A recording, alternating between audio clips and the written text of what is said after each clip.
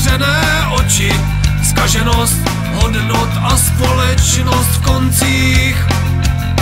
Šel cestou trnitou, zábrany odhodil,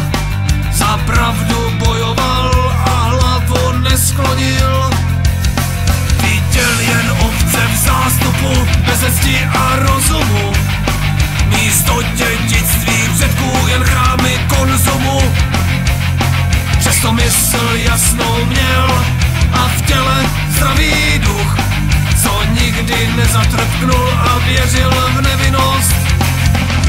Tam v horách řeky pramení žil člověk, který nechtěl nic jen